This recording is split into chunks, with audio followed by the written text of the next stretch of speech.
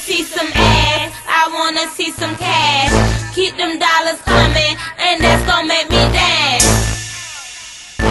And that's gonna make me dance. And that's gonna make me dance. Make it Thank you so much for watching Miss Angelique TV, where we talk about everything. And when I say everything, girl, story time is a collab. Like you know how you normally collab be like with two people? Nah. Mm-mm, nah, it's not with two people. A quadruple collab with Keesha Anderson, Uneak Tershai, and Miss Moss the Boss from Miss Moss the Boss TV, honey. I see booty Yes. shaking, booty, um, titties bouncing, all that stuff, and something was missing. The main thing was missing in this strip club. The main thing. You wanna know what made me irritate y'all? Hey y'all, it's Miss Moss the Boss of Miss Moss the Boss TV. I am truly honored to be collabing with these girls, and I would love it for you guys to come over to my channel and check out my story time on my first strip club experience. Hope to see you there. So Naja goes to the stage and they sit her in a chair and Biggie and Small start getting buck wild, y'all. Um, I can't remember which one it was, but I think it was Small. Small starts giving Biggie oral sex. And y'all, when I say I had to clench my seat, I was like, are y'all Hey seeing this? Angelique subscribers, my name is Uneak Tershai and I am a lifestyle vlogger here on YouTube. I wanted to just invite y'all over to come and check out my crazy story time about my first strip club experience ever. It was not what I expected it to be, y'all. So yeah, definitely come on over to my channel and check my video out after you watch Miss Angelique. And let me know in my comment section if you're coming from her channel. Hope to see some of y'all there.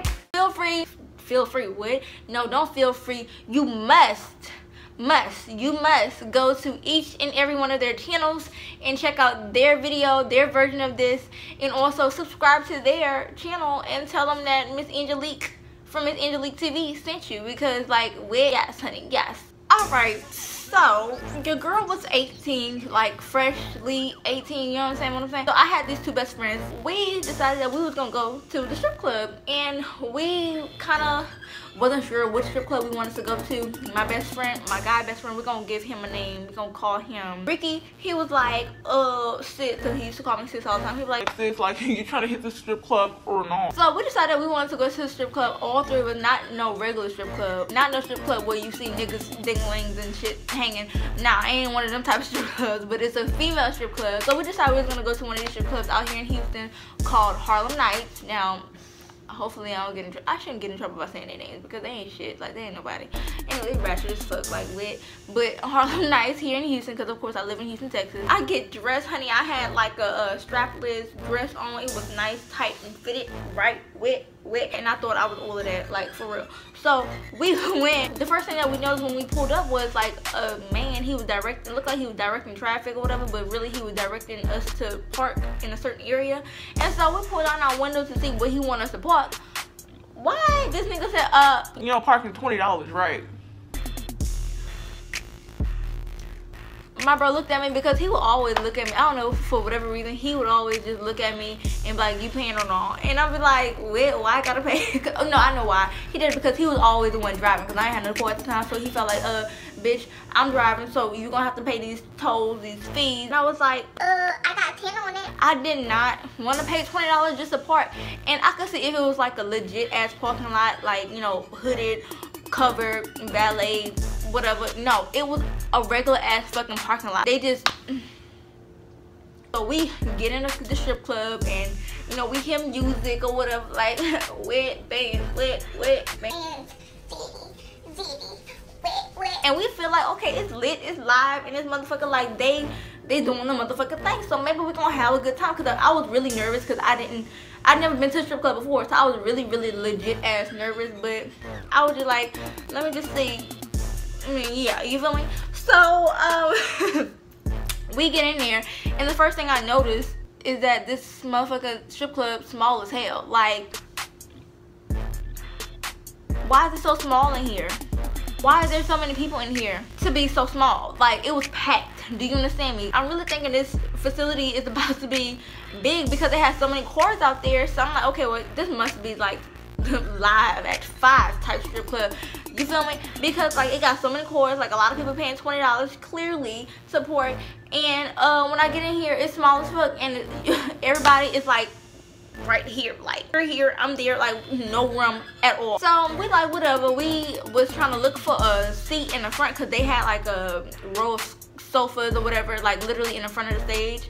Um, I guess basically you kind of have to like catch them seats because why? Because there was some good ass seats. So we was able to catch a couch. The first thing that I see on the stage is bitches with spray bottles and towels wiping the pole. So you know me, I'm like,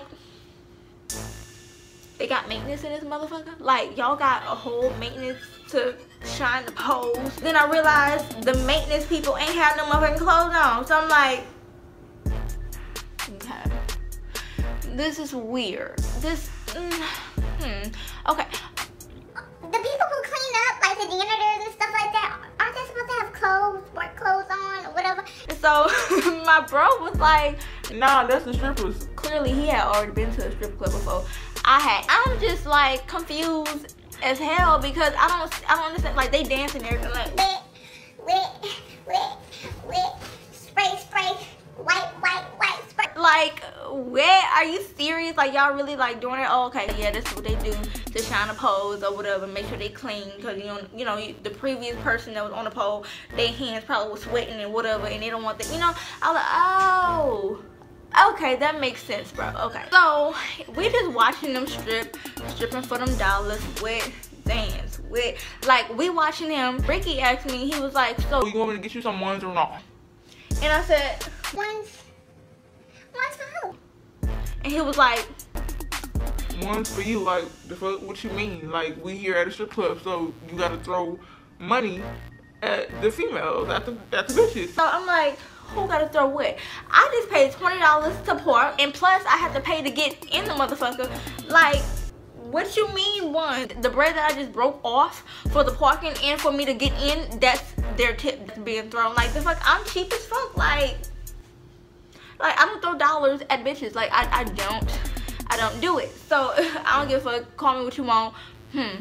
But I don't do it. I love my coin. I can see if I kind of like got in for free or whatever, then I kind of return the favor. But I didn't get it for free, my nigga. Like I have to pay to park and I have to pay to get in.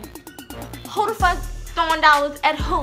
Where? So he was like, well, I'm getting ready to give me some ones or whatever. And he in front of the stage throwing dollars and stuff. And I'm like, okay, bro, what's up? Like, I'm, I'm like trying to like cheer him on or whatever. But it was really hard for me to cheer him on because I'm like, bro, you you wasting your money on these hoes. Like, we don't love these hoes. Like, what? What we doing? I just don't feel like it was necessary to give these girls money. Like maybe if I'm like rich or something and I have like a private yacht somewhere, then maybe I can hire strippers. But a bitch ain't on that level right now. So uh ain't nobody throwing nothing. Like some money was like in front of us or whatever. And I was looking, I was like, I wonder if they'll notice. Kind of like scoop that motherfucker like over here. Like I wonder if they'll notice. I'm just playing. Or am I? We, you know, enjoying the strippers. We watching them. I look behind me and like behind me was like the DJ area where the DJ be at and shit. And I see my ex. I'm like, X, why are you here? like I'm thinking to myself like, why is my ex here? You know, and I'm honestly I shouldn't have been surprised because the area that we was in was kind of like hot whenever it came to people like him. Like I really did not want to say hey to this nigga. Like, no, I don't want to speak to you. Damn, like shit, like, what the fuck? Like, why the fuck you looking at me? Like, uh, get the fuck out my face. Like, Like for real, I really was mad. But he ended up coming to approach me, and you know I spoke, and I was like, mm, hey, y'all, y'all know whenever y'all talk to my y'all just like, hmm, mm-hmm, I'm good. How you doing? Oh, okay. Hmm. You still a cheating ass nigga or not? you were, um, I knew it. So he ended up sitting next to me. And he was like, you want a drink? And I'm like, yeah. The sound of my voice and all of that changed whenever he asked me if I wanted a drink because your girl was 18 and your girl couldn't drink. And we was talking or whatever.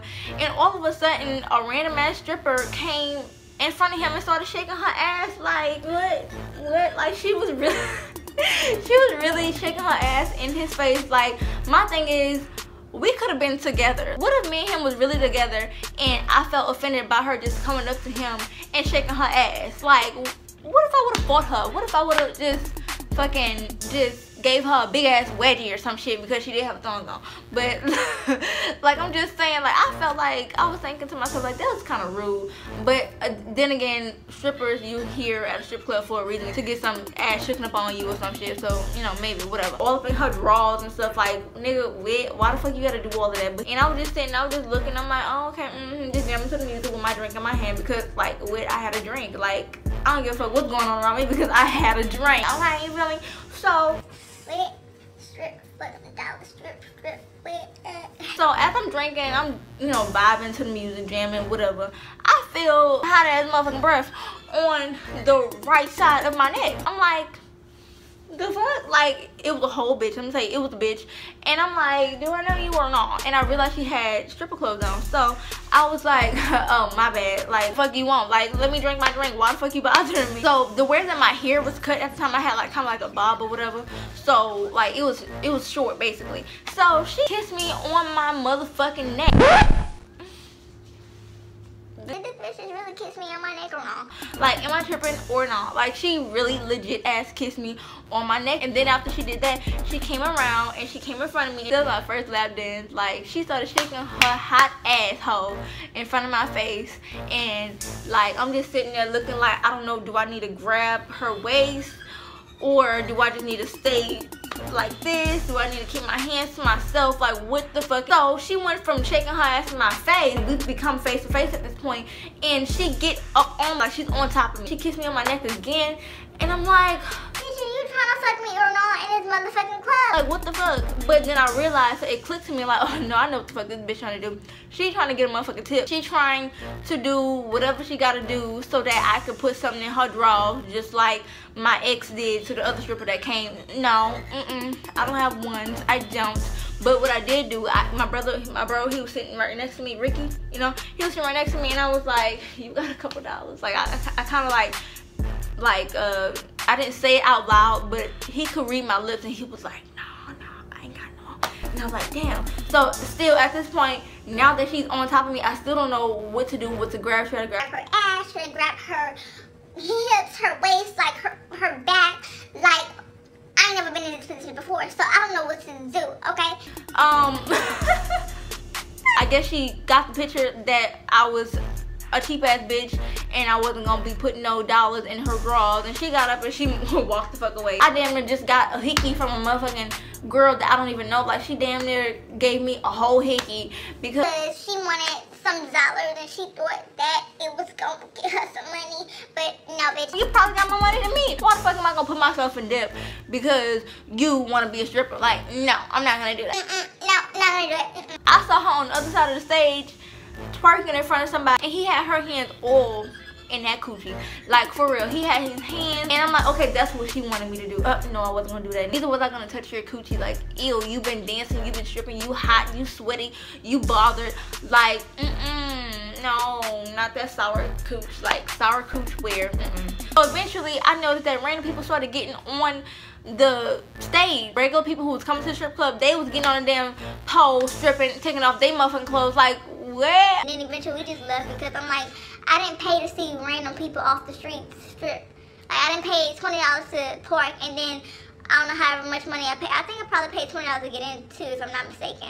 But I didn't pay forty dollars to get in this bitch so I could see somebody off the motherfucking street strip. Like I need some legit ass strippers shaking that ass. And I didn't even remember getting home. Like all I remember was pulling up and falling out at the door whenever I came back home or whatever. But needless to say, I never went to that strip club again. Then, like a few weeks after we went there, we heard that they had some type of shooting or shootout there. So I'm like, okay, that's why I don't need to go back there. Uh-huh, because it was kind of in the hood. I ain't even gonna lie to you. It was in the hood. Like, but uh yeah so i've only really been to two strip clubs in my life both of them was ratchet as fuck the other one was ratchet uh that mm.